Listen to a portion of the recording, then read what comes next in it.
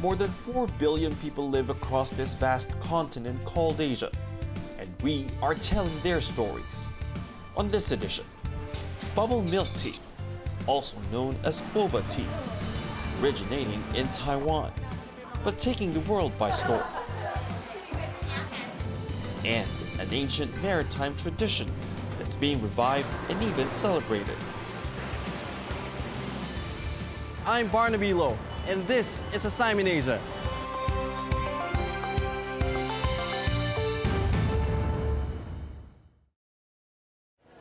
Welcome to the program. How many of these people around me do you think love drinking bubble milk tea? At least a handful, yes? Judging by how much the drink has evolved and how it's become so commonly available in many cities around the world, I'd say that's not a stretch. This is especially true in Taiwan, the land of bubble milk tea.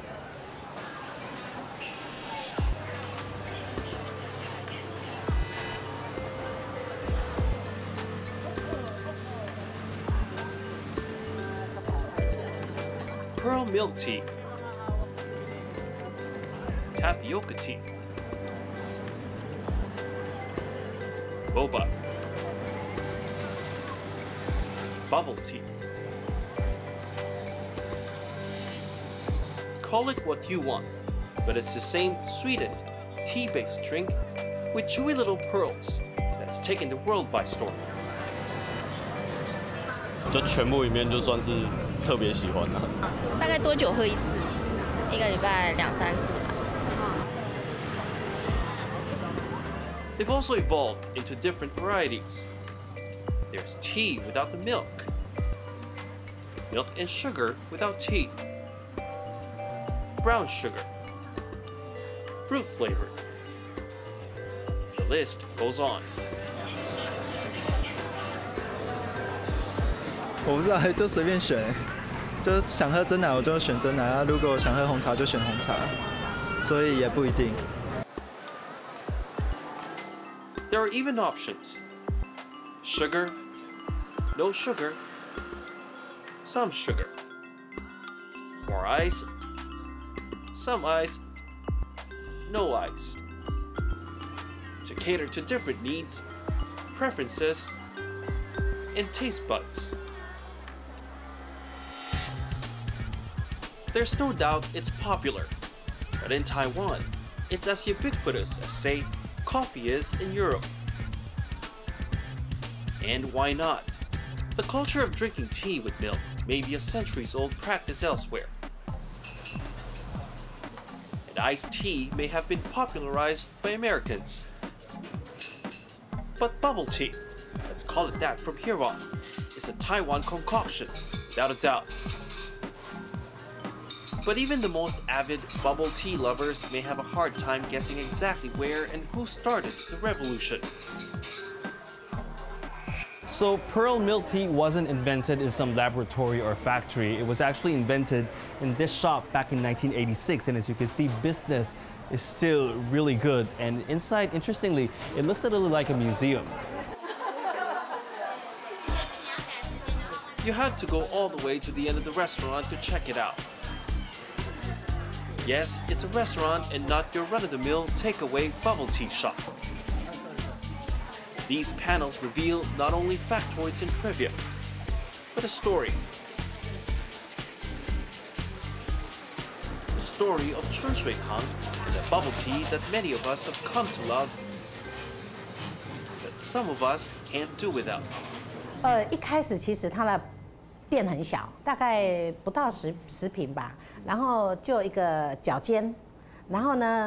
一半呢要留给呃我们老板，就是刘汉杰先生创办人，他要他的他的喜爱就是高山茶，台湾的高山茶。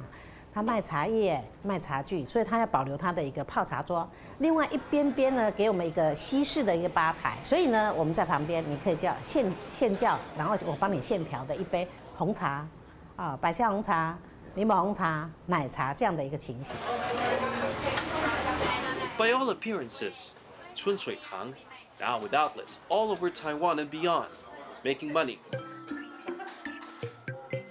But money is never the sole motivation of the people behind it. They were passionate about their products. The owner, Liu Hanjie, is considered a tea expert. The manager, Lin Xiuhui, well, let's just say she's every bubble tea lover's godmother It's easy to comply with. Turns out tapioca was a childhood favorite of hers. Back in the day, it was merely considered a local delicacy. 然后我是在一九一九八六年的时候，我是去我就呃开了那个四维街那一家店，就是我们现在创始店。那我是第一任店长，那我要负责去买 购早上要去购买，去市场购买东西。然后我就看到市场有人卖粉圆，我就好高兴，因为我很喜欢吃粉圆。我看到粉圆就想想要买回来煮，所以我买回来煮之后呢，第一个首先煮了就是当然是分享给伙伴们吃。但是你天气热嘛，你吃粉圆热热的多热啊！那我我有我会泡茶啦，哦我也爱喝奶茶啦。那同事们都爱喝，所以你喜欢喝，其比如说你喜欢喝红茶，你也可以加粉圆加进去。我喜欢喝奶茶，我也可以把粉圆加进来，我们就变成私底下的一个自己在喝，以及跟好朋友的分享的私房茶。那这样的情形已经执行了好几个月。后来有人说，哎、我不是你好朋友，我不见得每天喝得到，能不能把这个产品变成是每天可以喝的商品？那我觉得哎、不错哦，我们当初是爱的，There was consensus within Xiuhui's circle. The combination of milk tea and tapioca pearls was good, but she wanted further affirmation. 我跟你讲，我哈很不好意思，我以前虽然是当店长，可是呢，我说过我刚开始是客人之间的一个私房茶，所以也没有跟我们创办人讲，没有跟我们董事长讲。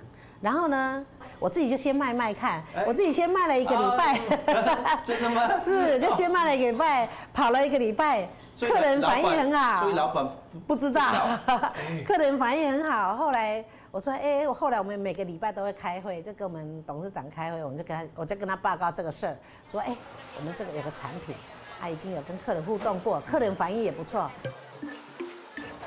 So, for a milk tea lover, and I know there are a lot of us, it's very exciting to be able to taste the original bubble milk tea. And so I asked how to properly enjoy your bubble milk tea, and I was told you have to stir, stir a little bit so that when you drink it, you're also able to get the chewy pearls underneath. And I think what's special about this is that right combination of the taste of tea and milk. 哎，没关系，你就走去那边。 It took very little effort to convince her tea loving boss, of course. And so, not long after her discovery, Chun Shui Tang began to officially offer bubble tea on its menu. And then, neighboring stores followed suit. 我们那时候奶茶卖的特别好，所以当它加在里面的时候，客人反应非常好，所以没多久， 两个月后，大街小巷大家都卖啦。我隔壁家的都卖珍珠奶茶了。哎真的吗对，两个月后两个月后，整个呃那个台中一那个红茶一条街四维街这里，每家店嘛卖珍珠奶茶。By the 1990s, bubble tea was as common in Taiwan as McDonald's was in any major city.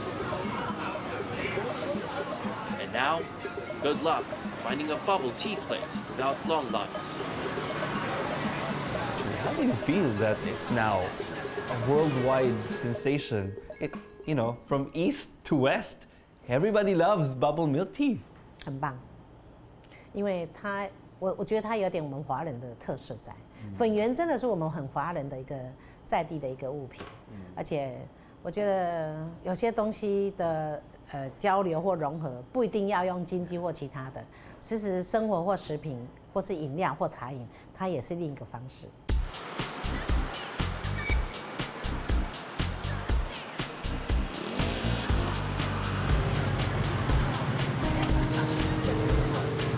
As bubble tea was rising in popularity, however, so was the use of plastic straws. I guess in terms of using plastic straws, Taiwan is a big user of plastic straws. Is this because of the milk tea culture? 呃，这有蛮大的关系，因为台湾的泡沫红茶已经好几十年了，因为它一定要用塑胶吸管。那台湾的塑胶吸管，就在全世界而言，它都是 低价格，是免费的，所以任何的便利商店它都可以拿得到。那这个造成的污染就很大。Zhu Xuejie, who aptly goes by the nickname Ocean, is a lifelong environmentalist. After years of advocacy, however, he felt his message wasn't coming across as effectively as he would have liked. He felt he needed to offer a more tangible solution. 我在二零一三年的时候，因为我们觉得如果没有一个东西让大家可以看得到它，然后再去让他们可以改变生活的话，那其实环保是很辛苦的。 所以那时候二零一三年我们就推动了生产的这个环保吸管在台湾，而且是首创生产，然后也在台湾就是直接先从台湾开始推广，然后慢慢的推广到很多国家。因为这个我有摆在店面售卖的，然后 For a small entrepreneur like Ocean, it was a gamble. 它那个不见了，然后发现它其实 QC, which is what he named his new eco-friendly company, required a sizable investment. They weren't just going to sell glass and metal straws. They were going to manufacture them as well. 呃，刚出来推广的第一年，其实呢，生意其实是非常非常的不好。嗯，那我必须要去跑全台湾的市集跟展览的活动。那其实，在第二年、第三年的时候，其实我们推动的效果已经非常大了。嗯，已经有非常非常， 应该至少有好几十万人，他已经有用环保吸管了。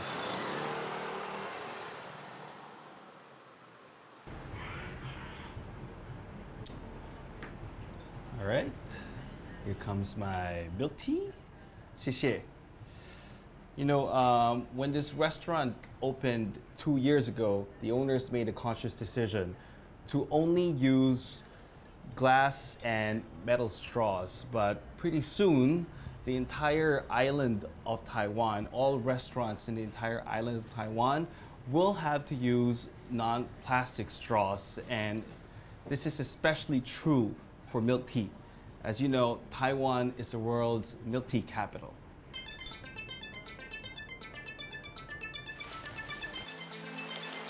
As many as 8.3 billion plastic straws end up on the world's beaches, according to a recent study by Australian scientists. Taiwan consumes around 3 billion of them each year. The island's ban on plastic straws started in July 2019, but is limited to dine in settings for now.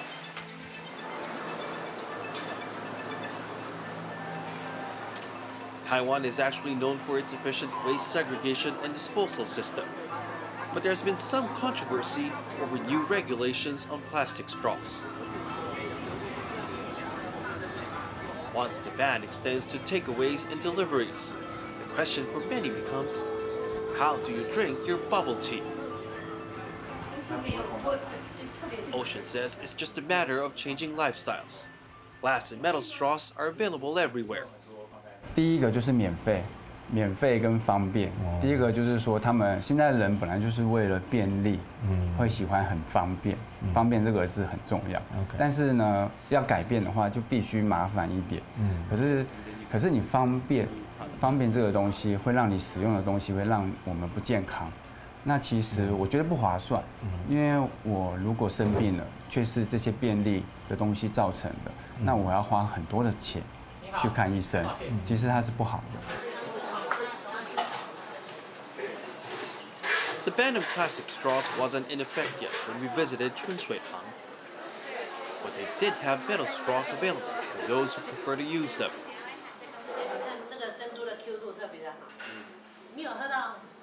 I have to admit, even as someone who's concerned about the scourge of plastic wastes, I didn't ask for a reusable straw.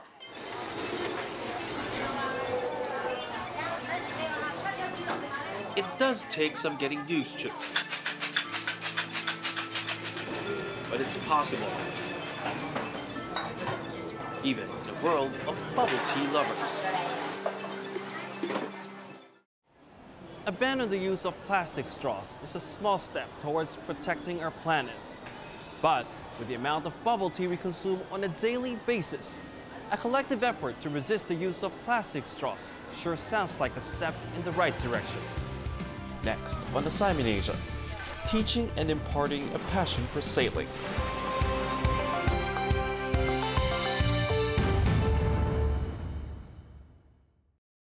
Stories of hope, triumph, innovation, and change. We uncover the truth and go great lengths to tell a story. Get to know ordinary people with extraordinary stories and see Asia from an Asian perspective. This is Assignment Asia. Expect the unexpected.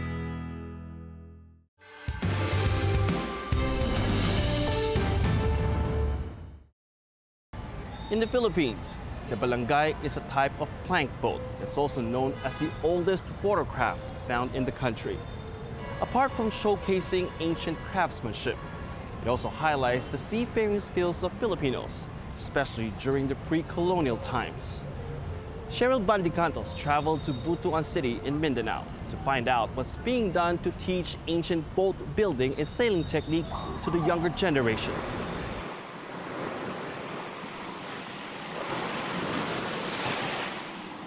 Sailing is just a sport also siya, pero iba ang feeling.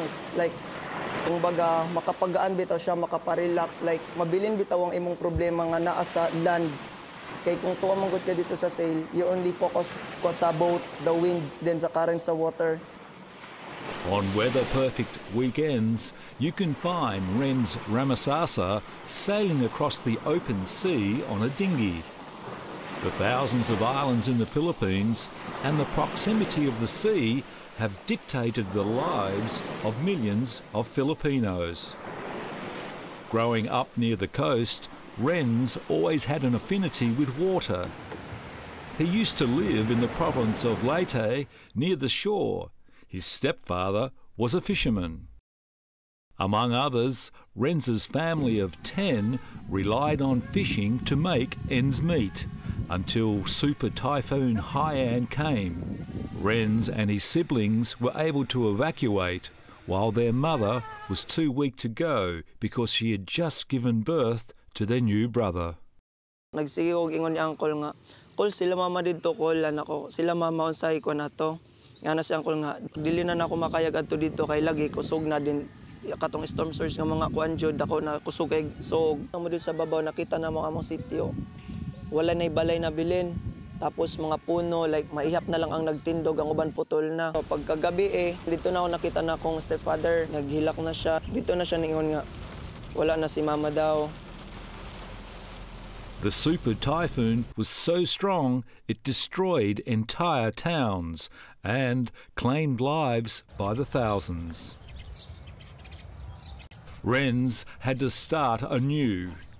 Spurred by his dream of becoming a seafarer, he decided to go to the city of Butuan, Agusan del Norte, a city with deep maritime roots.